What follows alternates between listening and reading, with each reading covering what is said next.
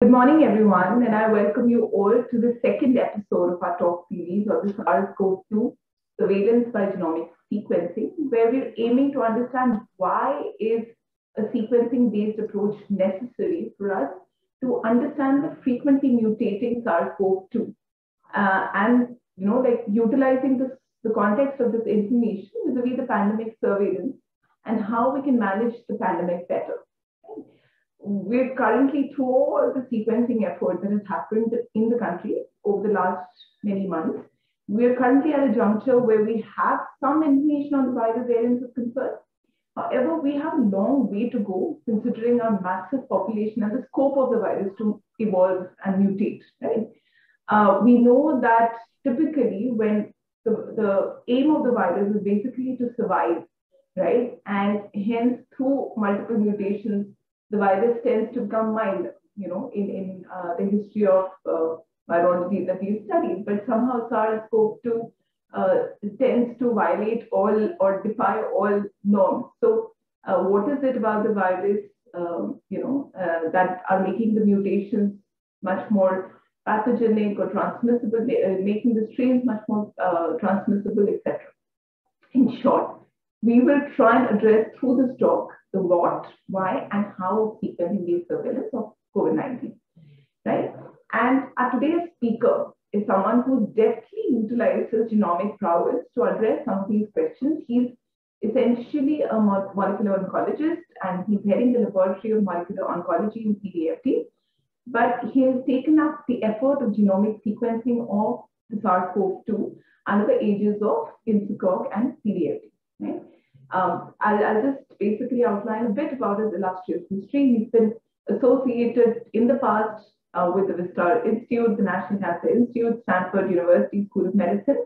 And Dr. Basham is also an elected member of um, uh, the Association of UICC, um, you know, the National Academy of Sciences, um, and American Association of Cancer Research. He's a life member of the Association, uh, Indian Association of Cancer Research, National Science Congress, India, and SBC, Society of Biological Chemists, India, etc. And he's also associated with the Association of Microbiologists of India. And uh, throughout his career, he's been a recipient of many, many prestigious national and international awards, including the National Bioscience Award for Career Development from the Department of Biotechnology, um, the faculty from developing countries is award from the American Association of Cancer Research USA, Fogarty International Research Collaboration Award from the Fogarty uh, International Center, etc. Right? So it's, it's a long list, and uh, what I've you know recounted for you is basically by no means exhaustive. Uh, so he's basically um, you know working you know as I said, but he is nicely utilize his um, you know expertise in the genomics area to shift gears or to segue rather, not shifted gears, to segue into uh, the understanding of SARS-CoV-2. And uh, it'll be, you know, I'm sure it's going to be a exciting, you know, um, uh, hear from him as to how he went about doing what he did and what is the insight that he got from the wonderful work that he has done with his team in CDFT. So over to you, Dr. Basham. Um, yeah, please hold the stage. Thank you, uh, thank you Devjani. Uh, the slides are visible and you can hear me clearly. Yes, sir. Okay. Uh, again, uh, thanks again, Devjani, for uh, slightly longish introduction, but uh, and I also thank Premas Life Science for uh, giving me this opportunity to present our work uh, in the form of a webinar, so which has become part of our life now for the past one, one and a half years. Uh, so mm, yeah, I'm going to touch upon um, what CDFT has done uh, uh, towards genome sequencing of SARS-CoV-2 isolates and also as part of the INSACOG, what we are doing on, and what we plan to do in the near future. But to start off, uh, I will show a very familiar slide to most of you, uh, the COVID-19 timeline. So we all know um, it was reported in December from Wuhan, China, the first infection. And then in January, we had the first confirmed case in India in Kerala last year. Uh, then 11th March, WHO declared COVID-19 as a pandemic. And uh, in December, we identified the first uh, B.1.617 variant, popularly and actually redesignated as Delta variant by WHO and also classified as a variant of concern. Um, and uh, 16 January, Government of India implemented the mass vaccination program. And uh, I would like to highlight what has happened since then in India and what uh, we, uh, the collection of scientists from all over India have been doing and what we have achieved and what we uh, plan to do in the near future. Uh, looking at the numbers, um, so in India, right now we have close to 3 crore cases. This is data as of July 5, 2021 from Government of India portal. It's updated every second, every minute. We have total deaths of close to 4 lakhs and currently the active cases are close to 5 lakhs in the country. Uh, and in comparison to the world, uh, we can see that we probably represent a major fraction of the cases uh, uh that are present in the world. And there are some things which are noticeable if you look at the uh, total cases versus active cases. You can see uh, the region around Delhi, uh, uh, the active cases seem to be reducing, but uh, in the West and South India, we, we still seem to have a larger proportion of active cases. So that is something which uh, Government of India is closely monitoring because it has public health implications. Okay, so there are two things which I want to highlight, which all of us have learned about this infection. First and foremost, 90% of the infected cases have very mild disease. Many of them don't have symptoms. Most of them have very mild symptoms. So it is predicted that it's likely to become an endemic. Uh, and that's what we hope. Uh, and probably it's going to happen very soon, uh, keeping our fingers crossed. And what is the current need? So there are three aspects that uh, uh people have been working on, the scientists all over the world, uh, starting from last year to develop efficient vaccines, we already have several in the market, uh, government funded or public through public-private partnerships. Uh, people are working on antiviral therapeutics, whether it's through development of antibodies or through drugs. And uh, there's also enough uh, sufficient emphasis on developing rapid diagnosis, but yeah, it has to be accurate, sensitive, and specific. The fourth aspect uh, where uh, uh, CDFD and some of the other labs come in is, is genomics. So where does genomics fit in uh, in terms of current need for COVID-19 management? So I'm going to take two examples of where genomics has been successful, uh, which is also what we have been doing in CDFD. Um, one is cancer, of course. Uh, we know there are driver mutations in cancers. You sequence tumor genomes and you can identify these mutations. Some of them are actionable. Uh, and uh, these mutations, uh, when you look at them in, in, in collection, you also can find out specific signatures. Uh, there are different signatures which drive different tumors. So tobacco exposure has a different mutation signature. Uh, methylation will have a different mutation signature and so on and so forth. So looking at these signatures, uh, it's possible to predict what could have been the uh, probable exposure that caused the cancer. And of course, these mutations also go a long way in assisting clinicians for prognostication, but also to decide what kind of treatment uh, to do. And uh, those kind of clinical questions are helpful. On the other hand, uh, genomics has also been helpful to tackle rare genetic disorders. Uh, so these are monogenic disorders, and um, you have unexplained uh, familial syndromes where you don't know what is the gene involved. You only have the symptoms. You have different families. So using uh, whole genome or exome sequencing, it has been possible to have to successfully identify disease-causing genes. Uh, some of the examples are shown on the right side, and uh, there are now um, several um, uh, consortia which are looking at sequencing various families with unexplained genetic disorders. And this is something which uh, CDFD's diagnostics division is also actively undertaking. But when we come to genomics of SARS-CoV-2, what, what, what do we think we can achieve through sequencing of SARS-CoV-2 isolates? So it is, uh, it can be used to identify variants which can be associated with severe disease and outcome. So uh, I, I said close to 90% of infected uh, individuals are mildly symptomatic. So what about the rest of that 5 to 10%?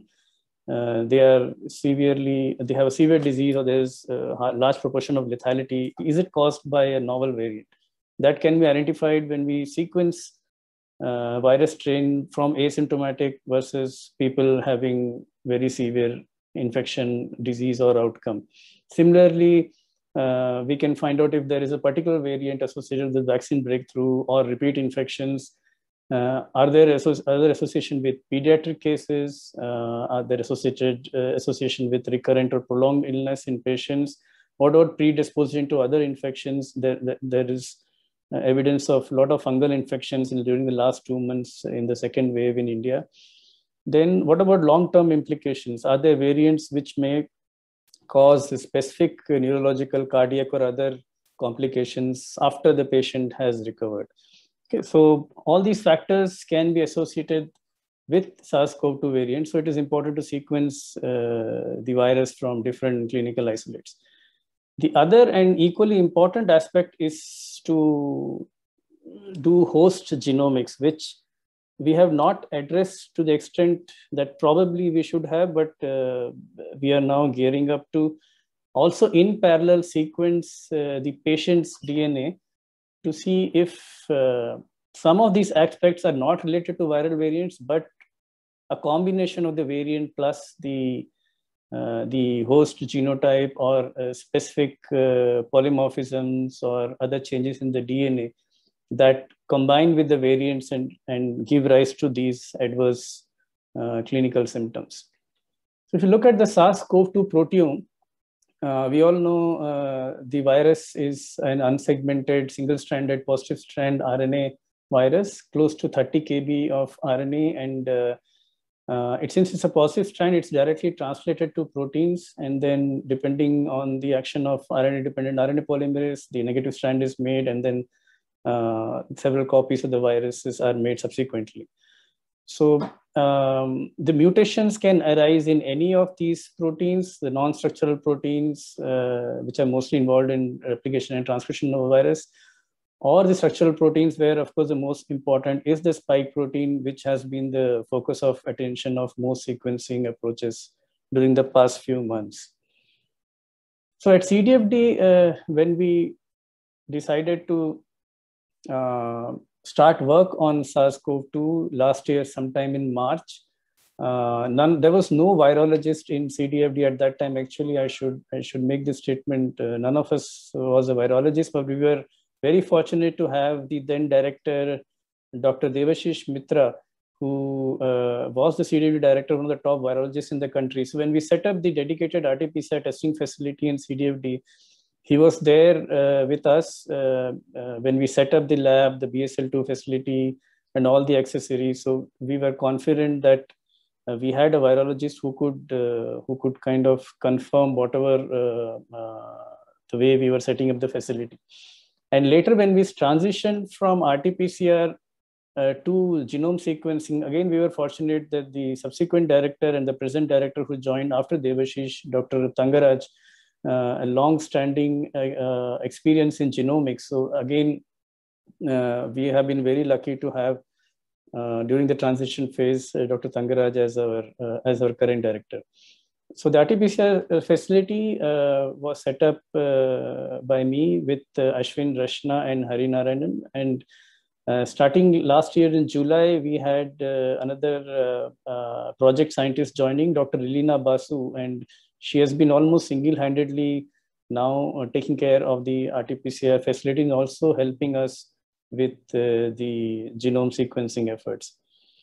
Uh, currently, uh, we have uh, capacity to sequence actually more than 1500 genomes per month. So that's how we have set up the genome, uh, genome sequencing facility for SARS-CoV-2 sequencing.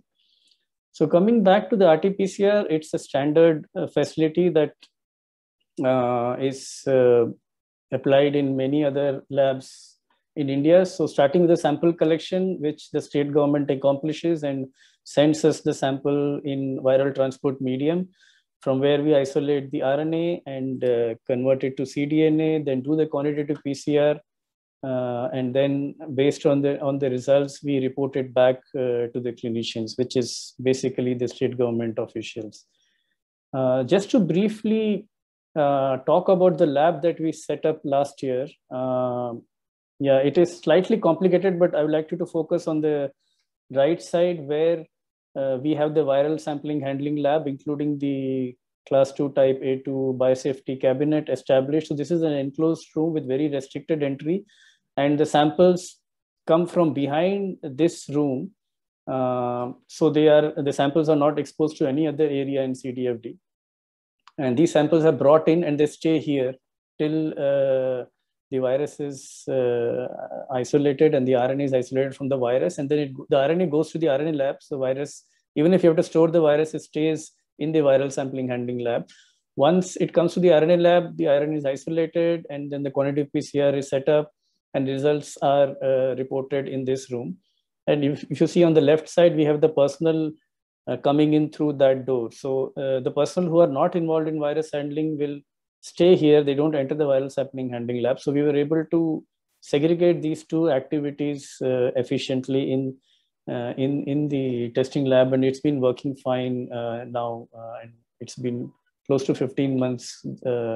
we've been doing the testing since April 2020. Okay, so uh, last year, then we thought of starting with uh, genome sequence of SARS-CoV-2, and uh, I had fortunately a computational biologist in my lab, a very dedicated and intelligent postdoc, Dr. Asmita Gupta. So I talked to her whether we could do this activity, and she said yes. So and it, uh, there was also a requirement from DBT that CDFD should start sequencing the virus. So we established this pipeline initially based on the the information available in uh, uh, uh in the Arctic network, where uh, it's a resource for assisting groups in sequencing the virus. So there are standardized protocols, primer sets, and other resources available.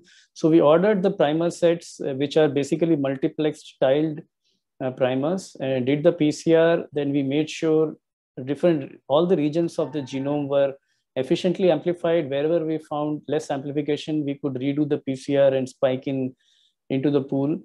And uh, using the NEB uh, Next Ultra kit, we then did the sequencing uh, based on single and 100 base pair leads. So, reads. All these sequencing work was actually done in the National Genomics Core of CDFD, where we have dedicated staff uh, um, doing different projects uh, related to genomics, not even from CDFD, but also from outside.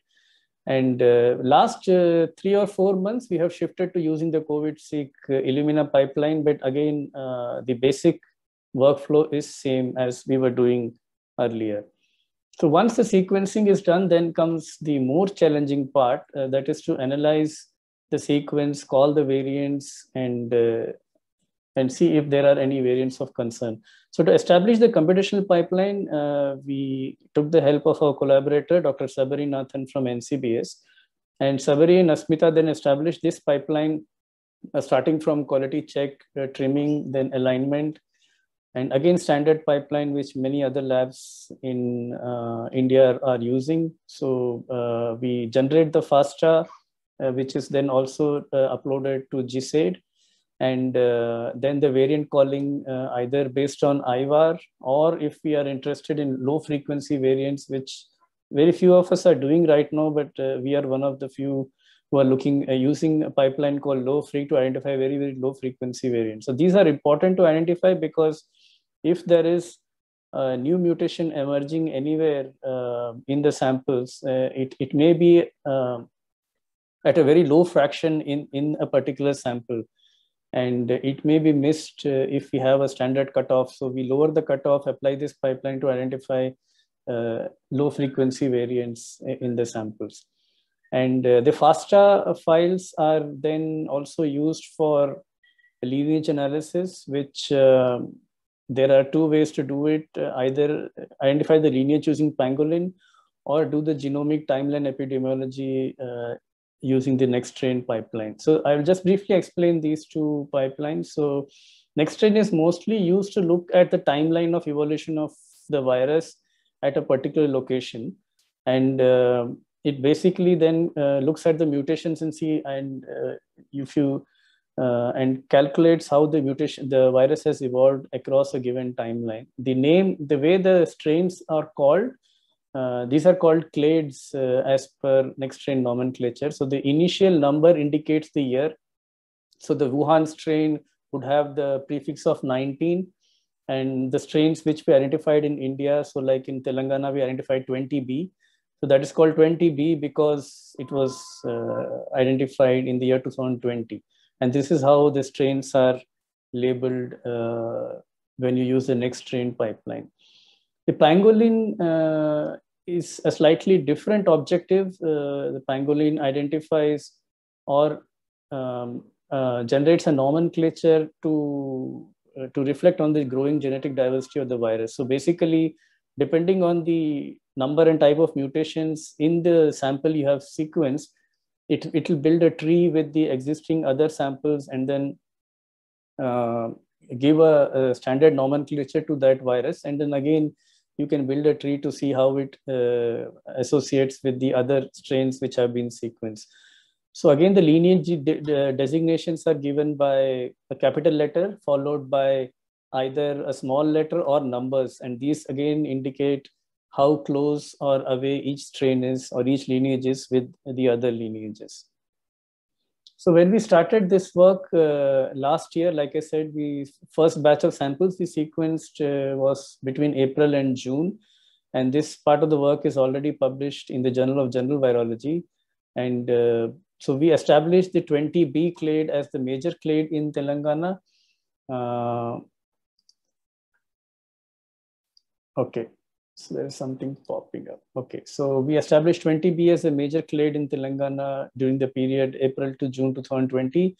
We were also one of the first ones to identify a, uh, a huge proportion of asymptomatic cases which appeared to be associated with uh, higher viral load. And this was subsequently also reported by other groups.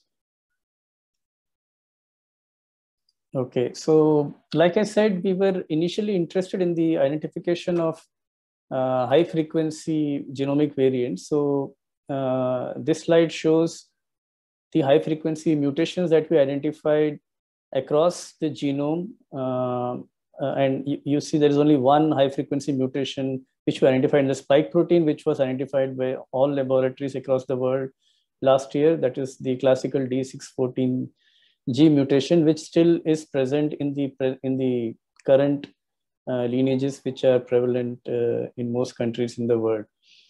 Uh, the other mutations which here are denoted as high frequency, they are also, uh, they're not in spike protein, uh, they are in other regions of the genome, but they are also, most of them are still present in the viral strains presently.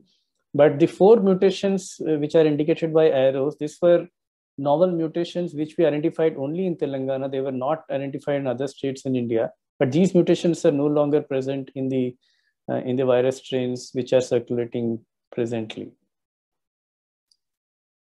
Okay, so uh, a few months ago, uh, uh, the government of India set up an interministerial and interdepartmental national surveillance network called the Indian SARS-CoV-2 Genomics Consortium or INSACOG for short. Uh, so this is an excellent collaboration between different ministries and different departments of the ministries, the Ministry of Health as well as the Ministry of Science and Technology. An example of how um, a national project was implemented with uh, in a rapid and efficient manner with uh, several tens and uh, many, many scientists coming together with their unique expertise and and uh, trying to help to tackle uh, this severe pandemic in India.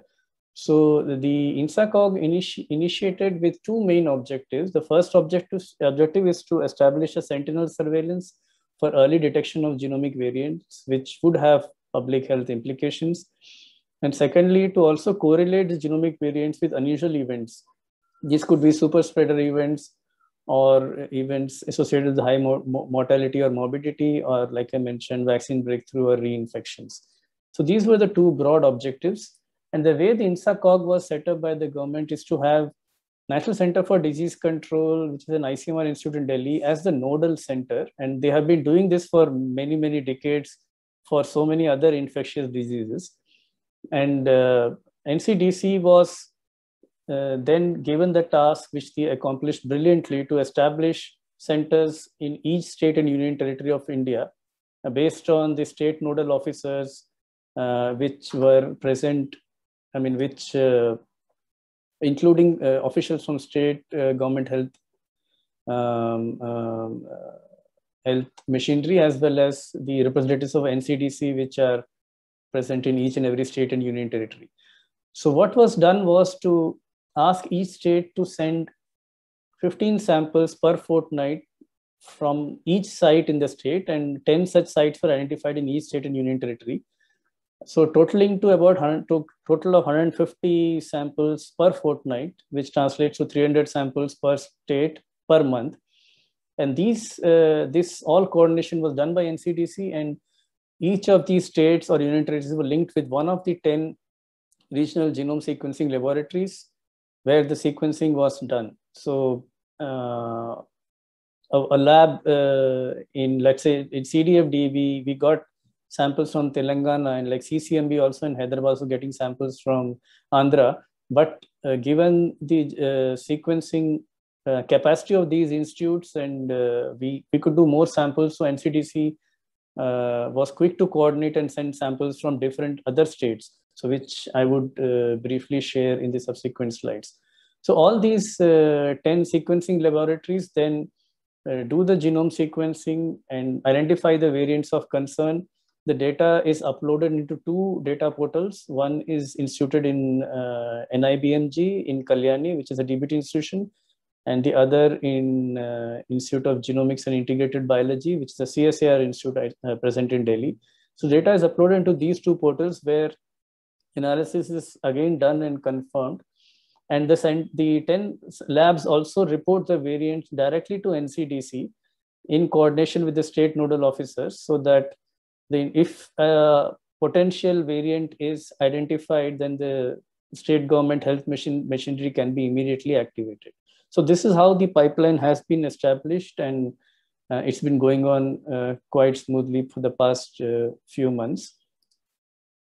Uh, so these are uh, the variants of concern which are identified by WHO, uh, which again, this is available in, in is public information available in WHO website. So like I mentioned, and all of you probably know the Delta variant or the B.1.617.2 is the major variant in India right now.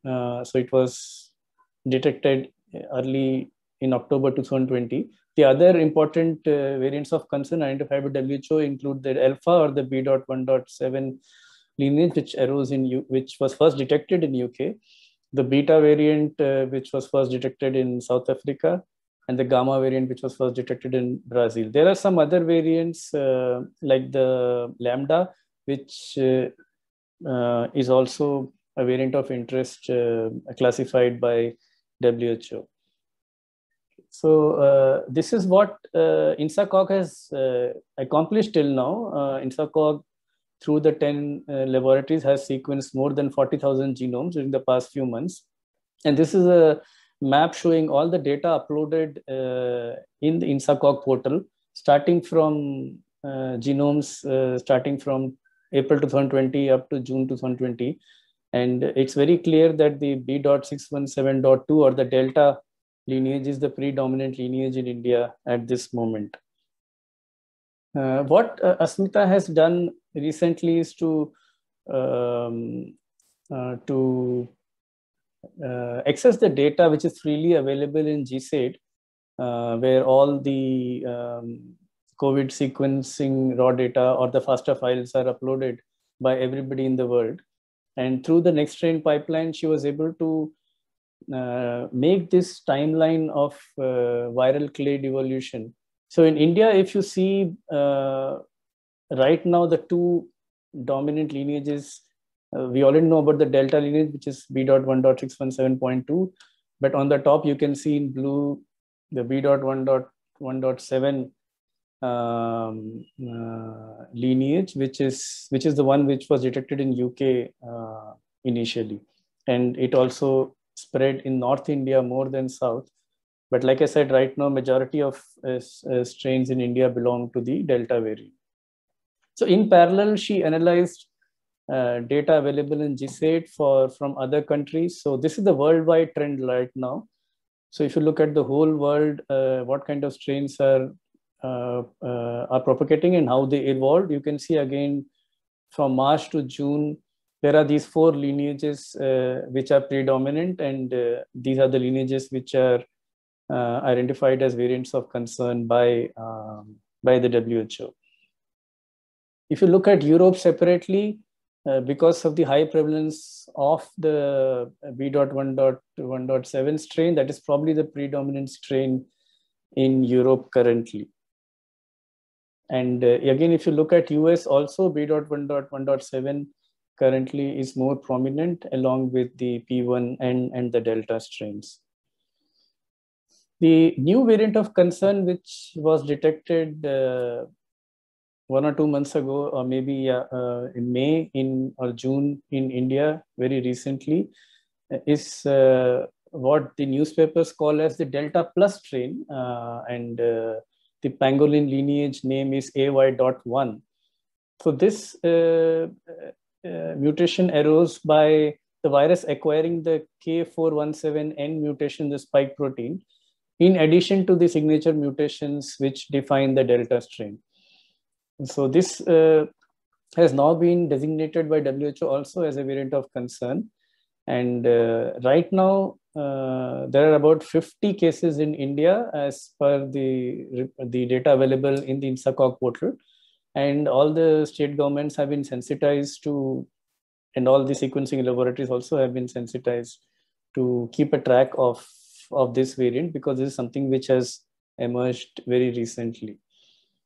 So this is a tabulation of the samples that we have sequenced uh, as part of CD, uh, as part of our uh, work for the INSACOG. Uh, so like I said, uh, although uh, we are designated to sequence samples from Telangana and other adjoining areas, we have received samples through the efforts of NCDC from not only Andhra Pradesh, but also far-flung states like Himachal, Punjab, Maharashtra, and Manipur. And once the samples are received, we finish the sequencing, identify the variants, and report it back to NCDC as well as to the um, to the respective state government uh, officers.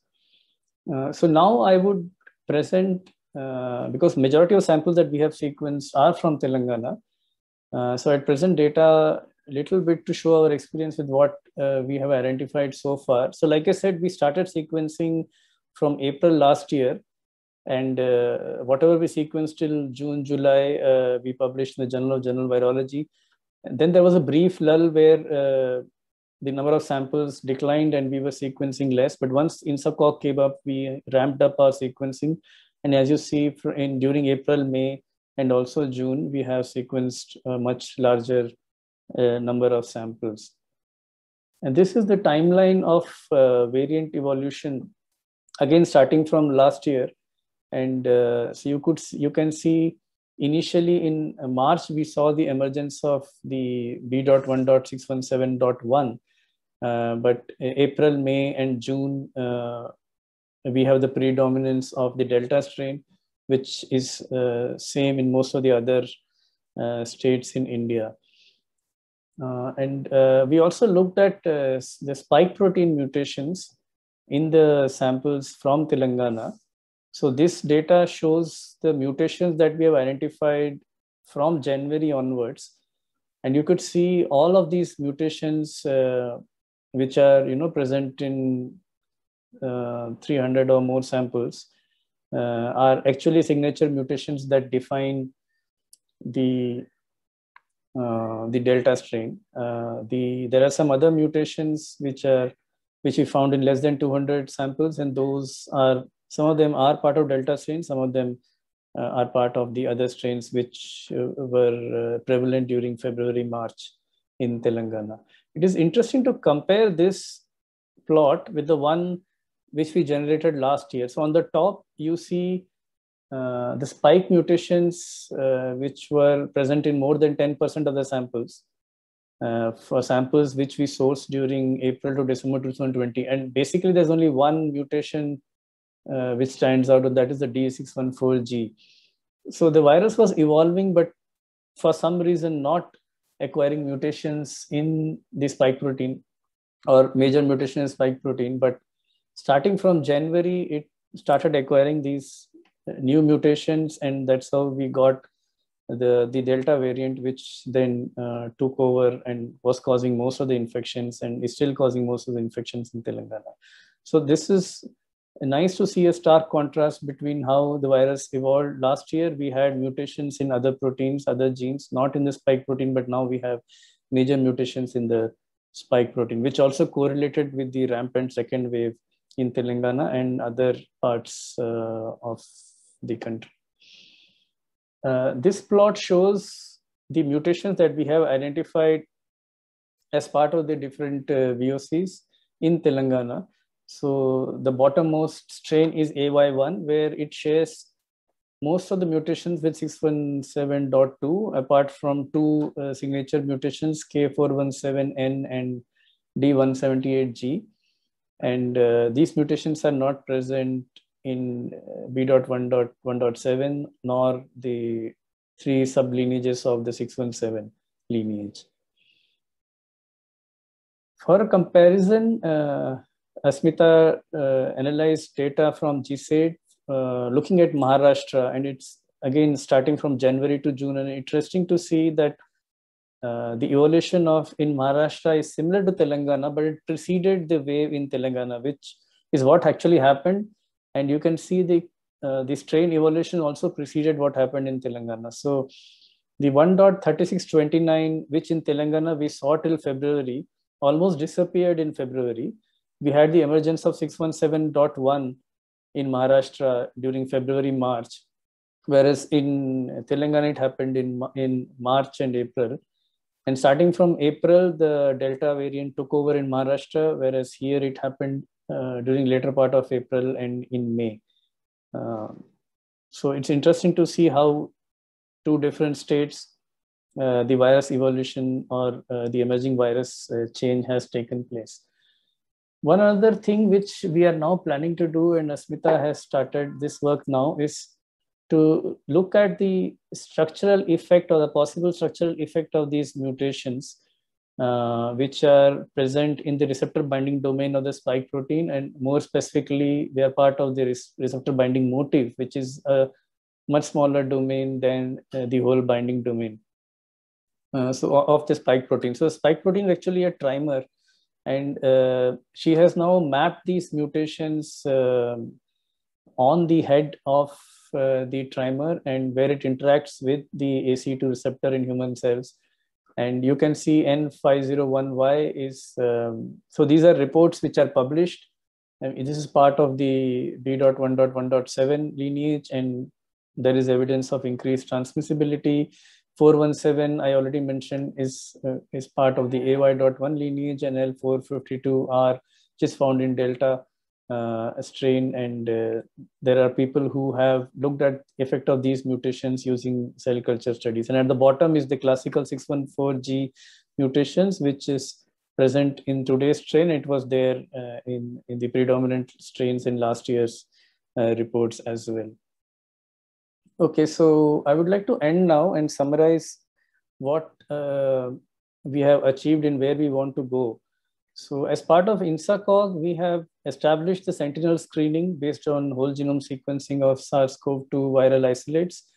This is helping to closely monitor the emergence of new variants of concerns, which uh, we are trying to correlate with unusual events uh, with the help of the NCDC as well as the state nodal officers.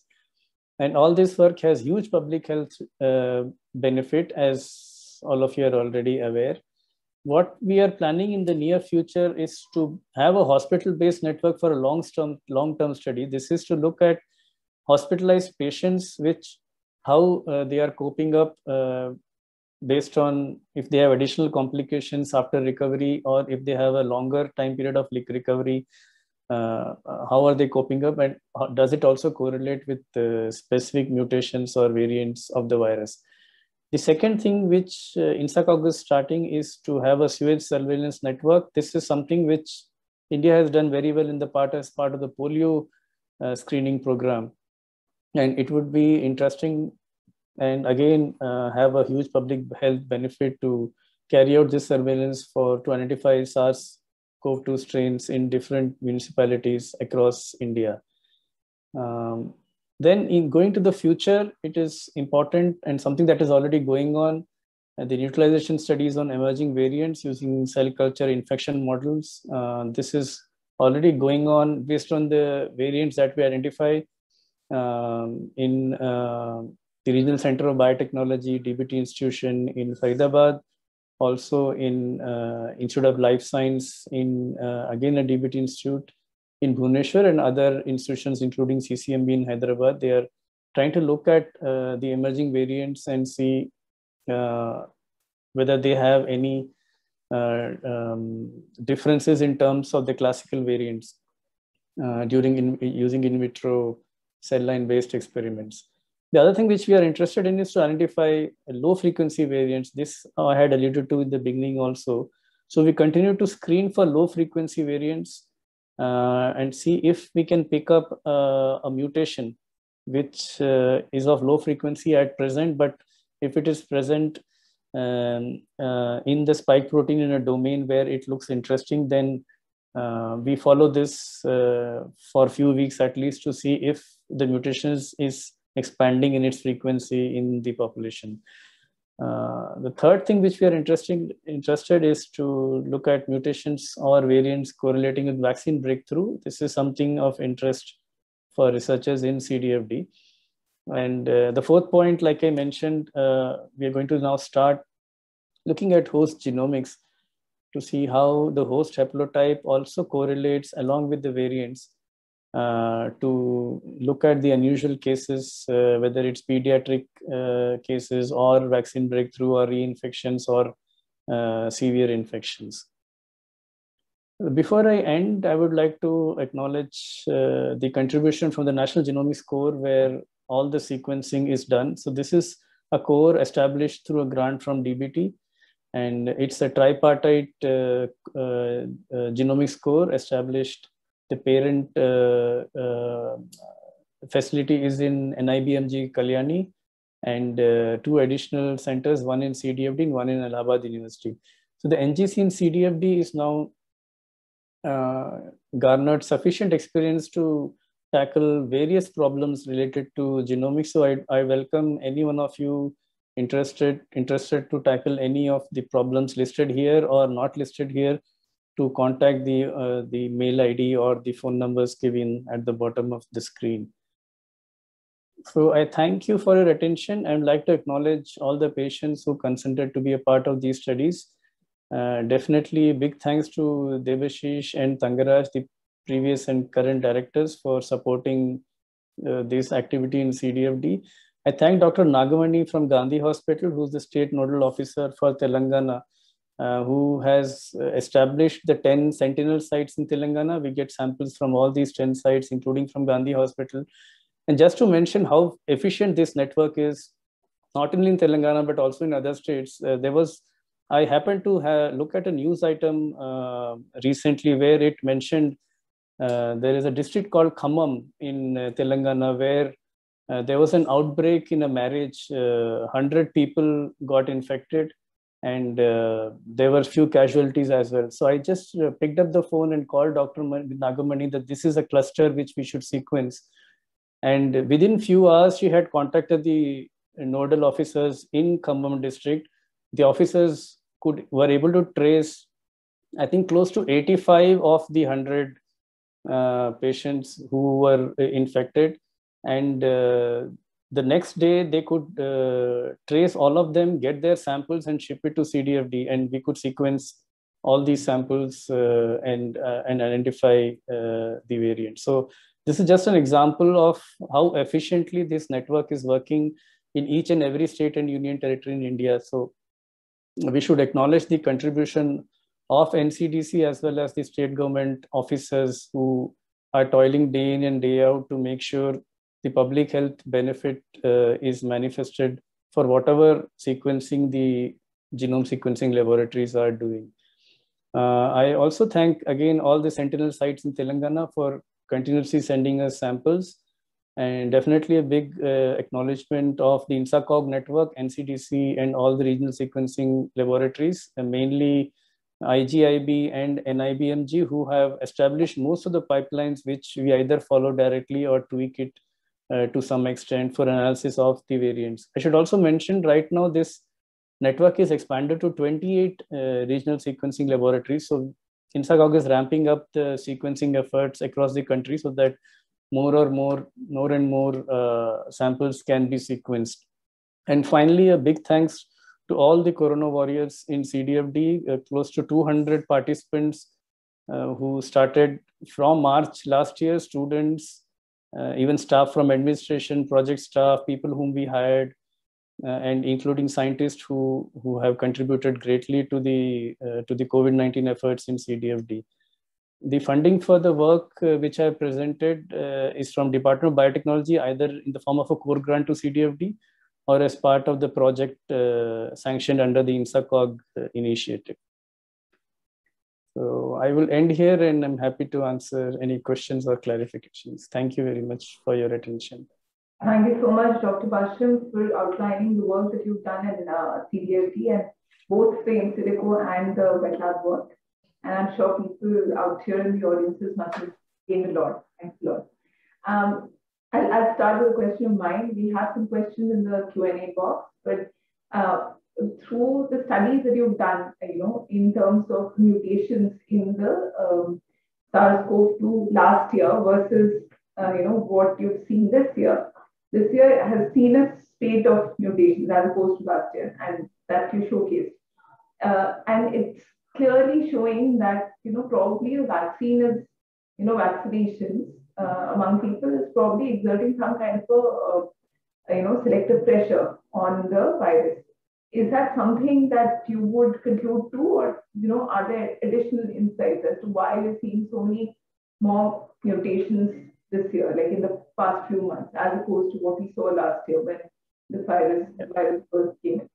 Yeah, so I would like to answer this uh, initially by saying that it is a misnomer to say that the mutations arose in spite of the vaccines. Hmm. The, the actual scenario is that the mutation arose and uh, uh, did not cause um, you know severe effects in individuals who are already vaccinated. Remember, the vaccination started in January, yeah. and it's it's a tough job to seek to you know vaccine to, to vaccinate successfully vaccinate 10 to 20 percent of the population, which has taken some time. But if you look at the mutations or the second wave, uh, the percentage of people who are vaccinated and got infected is minuscule. And of them, uh, if you look at me from my personal knowledge, I know of only one ICU case.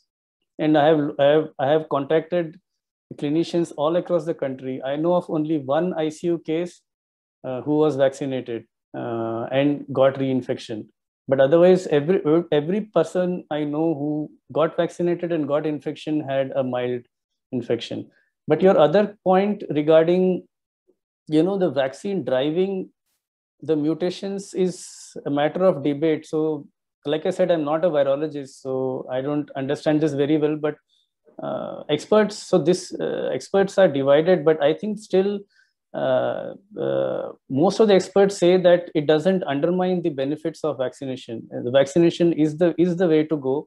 Otherwise, uh, I don't. Uh, definitely, the second wave would have been worse. And if at all there is a third wave, uh, I, I I can predict that it's probably going to be much milder than the second wave because now we have covered a huge chunk of the population through vaccination and in fact, there are also reports which say that even a single dose of vaccination has protective effect. Um, and so I think sure. vaccination is the way to go, definitely. So, you know what it also probably translates to is the fact that maybe because of the vaccination, it's putting a selective pressure, and hence maybe we'll be better off vaccinating people, um, you know, um, rapidly so that the virus does not get time to evolve. Yes. So yeah. So yeah, you are right. So more and more people it infects, the more chance uh, of evolution. Um, and uh, the, once more people are are vaccinated, uh, there is a less population available for the virus to you know infect and and mutate. Definitely, yes. Sure. Uh, we have a couple of hands, uh, so maybe I'll allow them to pose their questions. Yeah, and sure. then when I walk, uh, Dr. Manjula, I've um, I think unmuted you. Um, Ashi, if you can unmute Dr. Manjula. I can see that she has a question. I saw two people who have raised hand. Uh, so I've unmuted, uh, I'm, like I've allowed them to talk. So uh, Miss Janani Tyagarajan and Krishna Anam Raju. So both of you are, uh, have been allowed to talk. You can unmute yourselves and um, like start to talk. And also uh, Shraddha and uh, Dr. Manjula. I think all four of them have a question. Oh, okay, sure, Dev. I'm do- just doing. Yeah, you can unmute yourself, Dr. Shraddha. Uh, Dr. Manjula and Dr. Shraddha. So Devjani coming, so till uh, we get the questions, coming back to your question, another point which I wanted to make was uh, we, we need to understand that there's a limit to which the virus can, can mutate. So, you know, if, if keep it, it's not that it, the mutation is limitless and we'll keep getting variants every month and they'll cause a havoc. It's not going to happen. It's evolutionarily not possible for the, for a 30 kb genome virus to have so many mutations uh, that it survives plus is you know going to cause havoc so uh, like i said it is predicted that it's going to become an endemic you know probably like the common cold all of us get common cold every 3 months Yeah. and this is hopefully evol- evolving and it's going to happen in a few months fingers crossed So, Dr. Basham, another question is: so far, most of the uh, you know, uh, you know, more pathogenic mutations, you know, for the lack of better word, have been seen in the spike region. Do you think that in the uh, structural protein uh, uh, region of the we can have mutations which can be as um, critical or as um, you know pathogenic?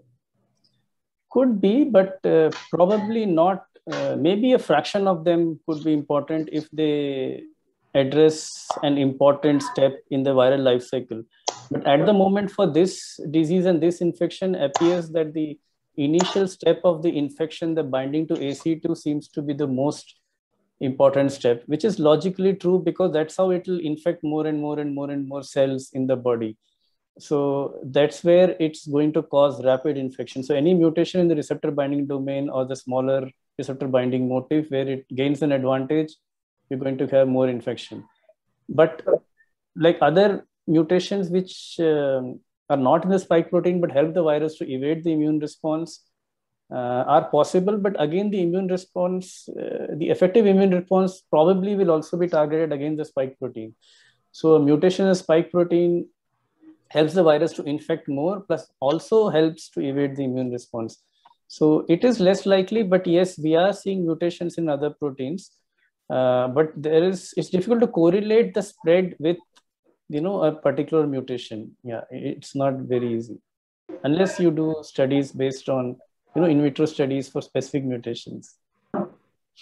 Shraddha, uh, Yeah. can go ahead with your Yeah, you can hear me? yeah sorry shraddha you were waiting yeah please go It's ahead okay. Yeah. So actually, sir, I had a question that we know that the below 18 population has not been vaccinated yet, right? right So have we considered this population for mutation studies?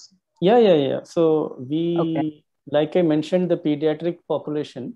So we get samples from all age groups. There is no restriction, Okay. and uh, every lab, uh, the 10 or the 28 sequencing laboratories or some of the state governments, if they want to push for pediatric cases, it, it's very welcome. So um, all the states and all the labs are sequencing the pediatric population as well.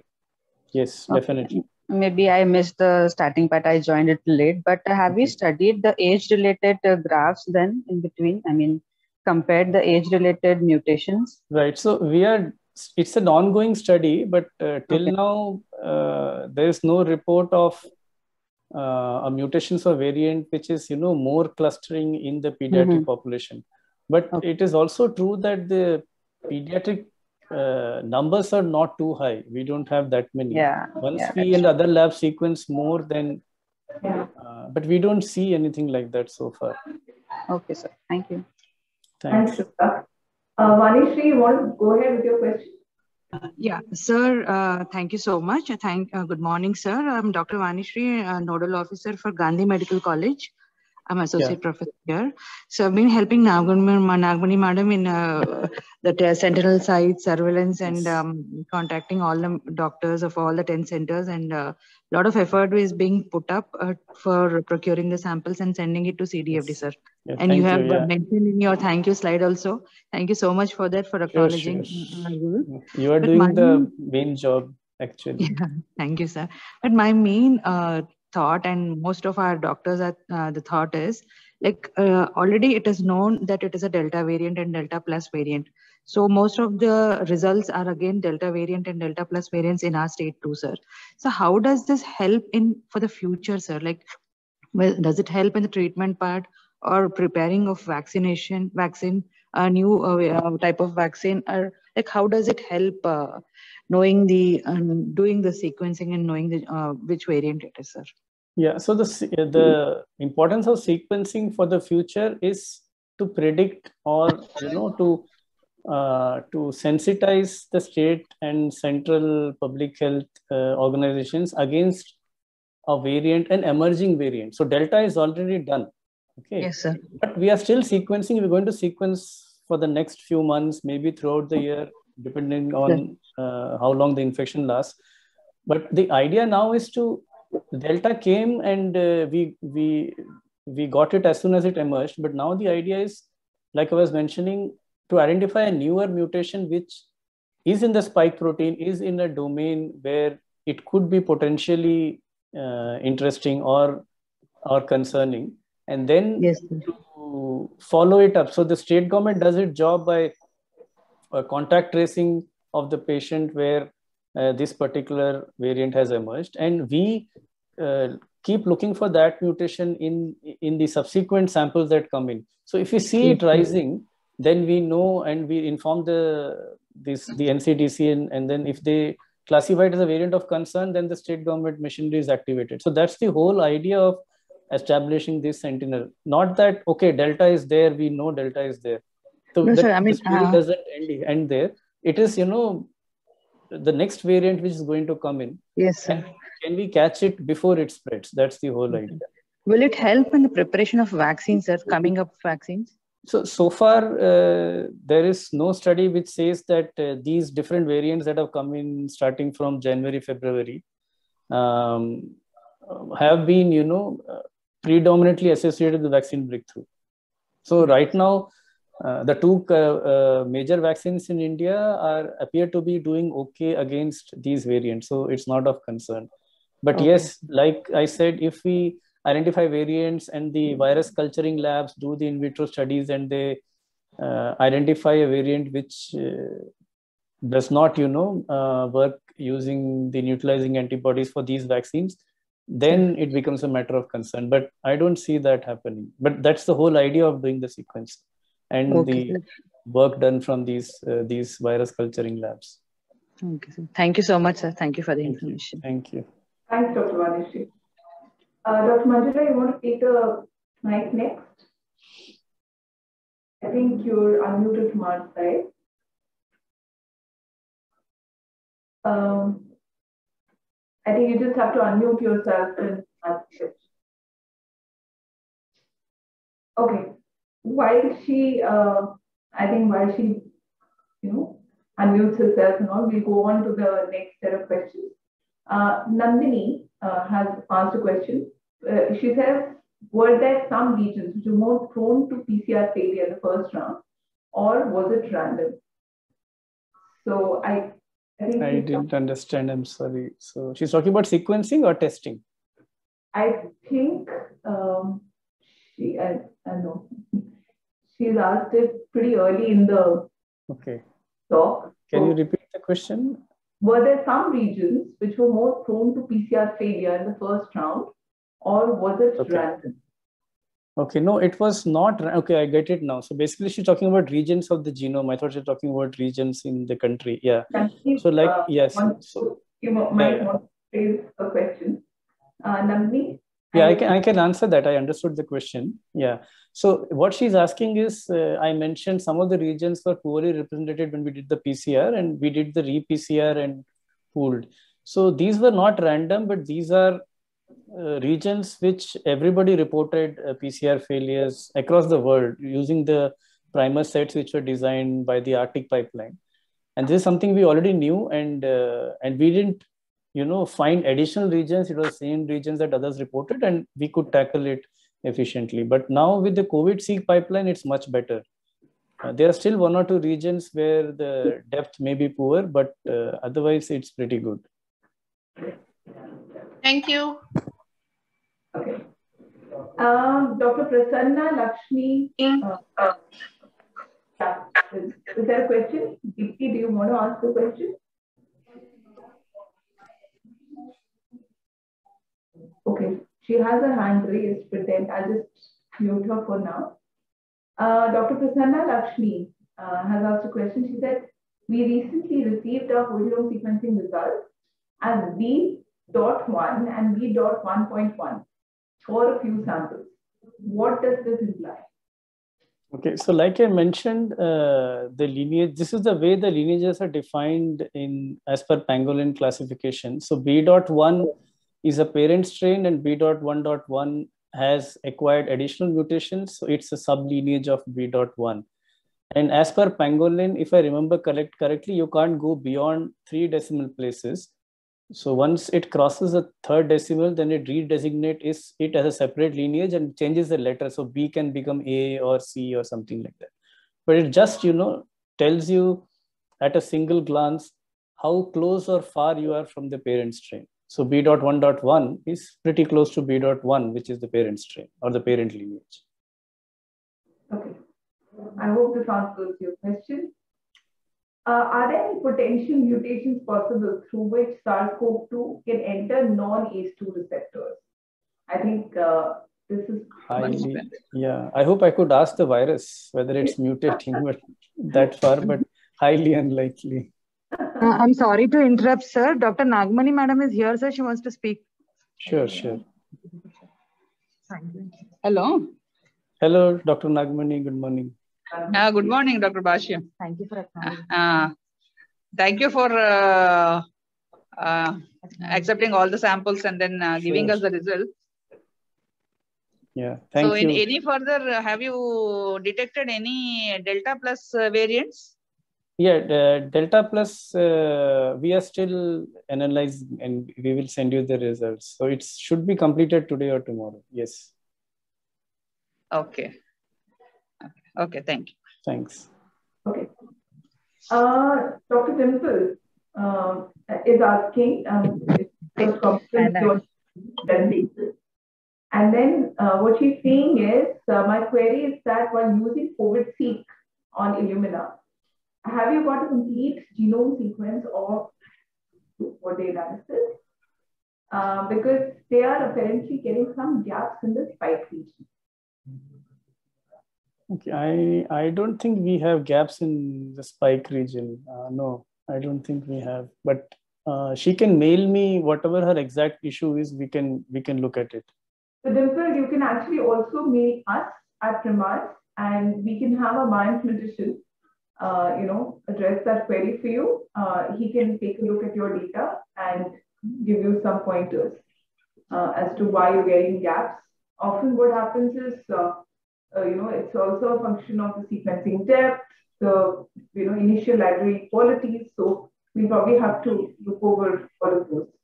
So, uh, you know, happy to kind of connect with you at our contact ID. Thanks. Uh, Dr. Sahil Sharma. Um, so he's saying is, uh, what, what he's saying is there is a delay in receiving results of whole genome sequencing at the state level, like almost about a month or more. By the time the new variant is identified, the spread is already there. So what, you know, are the public health actions that you know, you can possibly take to prevent this? Yeah, so uh, we have been told again and again, and we have discussed this in our regular meetings. Um, if we identify something which is potential, we we immediately inform the state and the central officials. Whereas the regular sequencing, if everything is delta strain, then it goes through the regular analysis and we confirm everything and then report it. But if one or two samples we see something interesting which could be potentially harmful, then uh, we you know report it immediately without waiting for the five, six, seven steps for confirmation. So that's what we did for the AY.1 strain.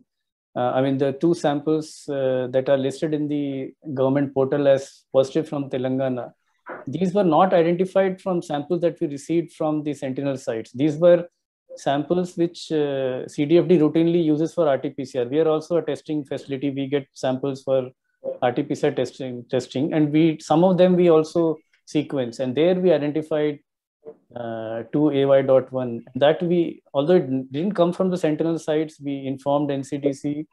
Uh, the information was also going to the INSACOG portal, and we also immediately informed uh, Gandhi and, and, and, and the GHMC, which is a Hyderabad Municipal Corporation.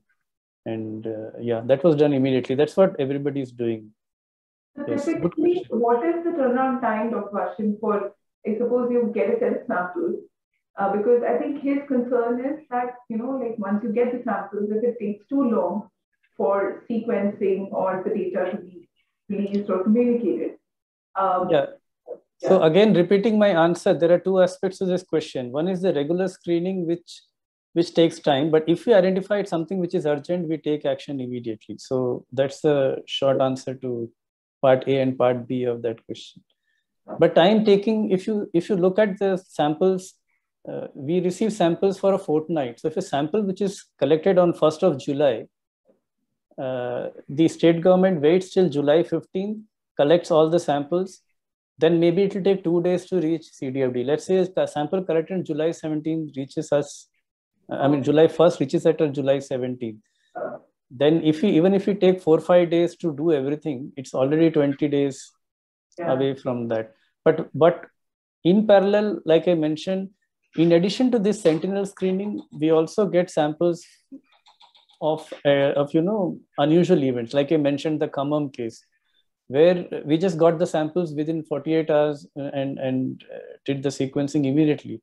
So that was not part of the sentinel site. So all the state governments have been informed, in addition to this regular screening, they should also look at these unusual cases if there is a vaccine breakthrough, if there is a sudden cluster, sudden surge, or a reinfection case. These things are in addition to the sentinel screening, and they are supposed to be sent as and when they arrive, and, and we sequence them immediately.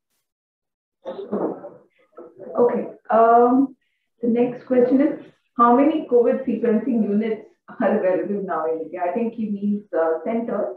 Um, yeah. But I think, yeah. yeah, like I said, we started with 10, now we are 28 and uh, there are people which, who are not part of INSACOG but have the ability and they have been sequencing on their own. So this is a worldwide initiative. Everybody who is sequencing the data goes to the GISAID international portal and anybody can, you know, look at those sequences, download and do the analysis. But yes, right now as part of INSACOG, 10 plus 18, there are 28 labs and there are a few other labs which ha have been doing it independent of INSACOG as well.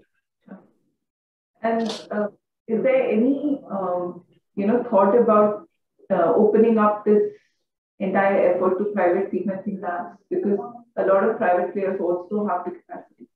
Yes. So right now, uh, the capacity in the public labs is is huge. Actually, I mean, even if uh, we were to increase the sample numbers by 10 or 50 fold, uh, we still have the capacity to do it. But uh, what is more important uh, to have the private partnership is in terms of patients. So some of the corporate hospitals have a very well-defined patient network and follow-up.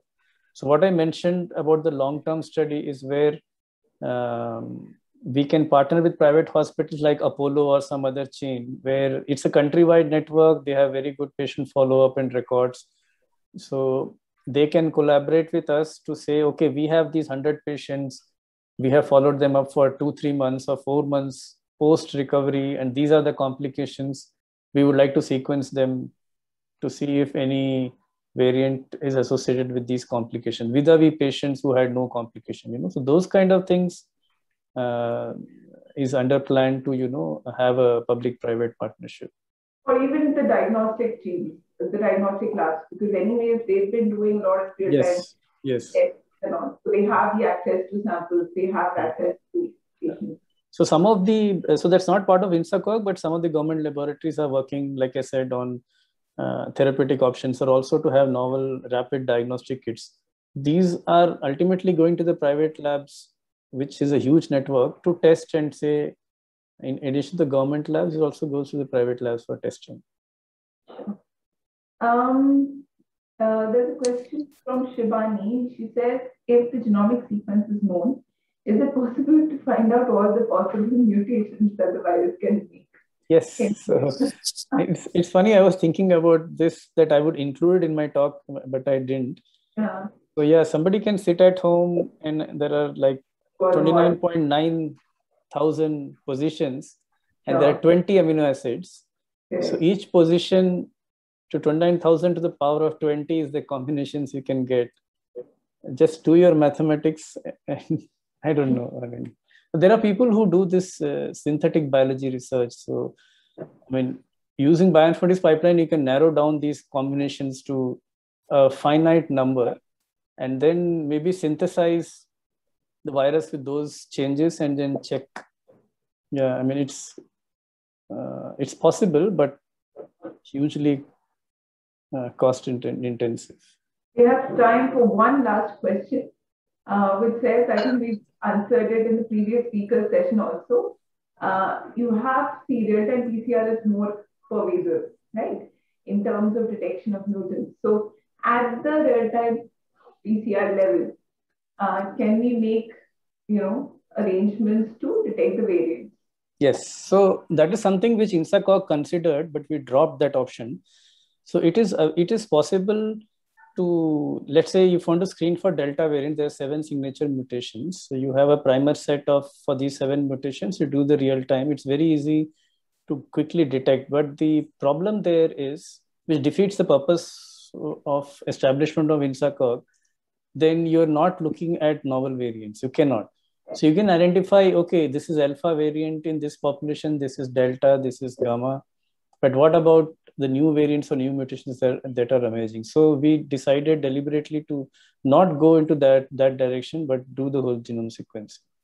Plus, I think as a previous speaker alluded, uh, he said that, you know, the rate of changes or the, uh, you know, rate of mutations in the viral genome that we've been seeing has been pretty fast. And to, you know, standardize an average RT-PCR test by the time you, you know, include those primers, uh, you know, get a a validation done, get an approval from a regulatory body.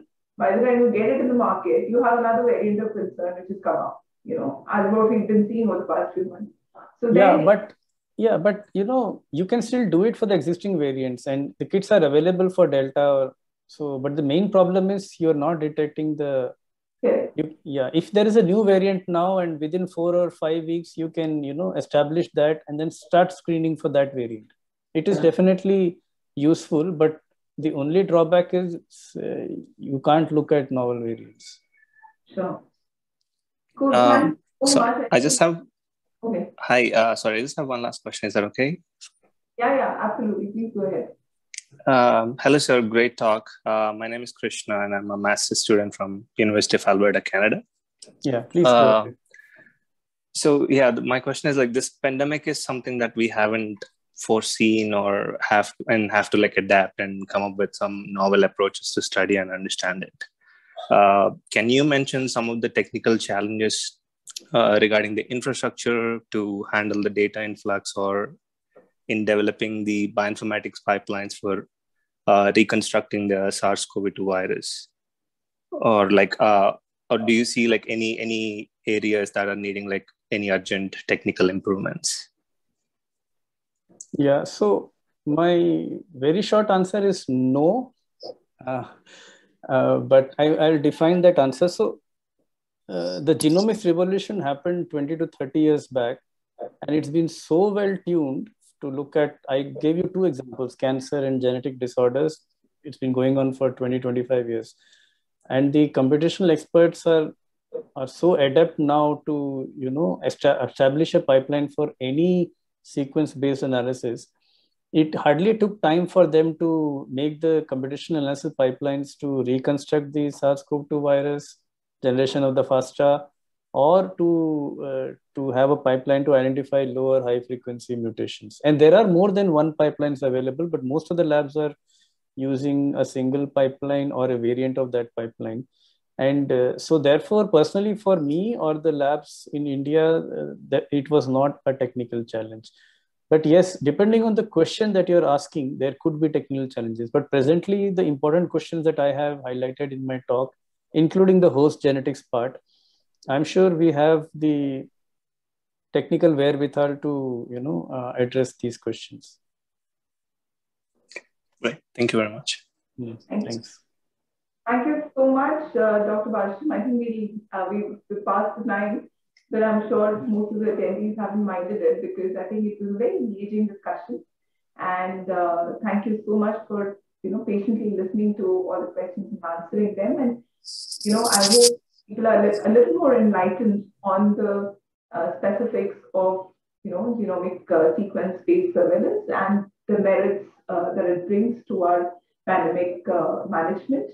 And uh, yeah, I mean, till we meet again with the next speaker in the series is a goodbye and have a great rest of the week. Thank you. So thank much. you. Thank you, Devjani. I also thank Premas for inviting me and hope it was useful for everybody.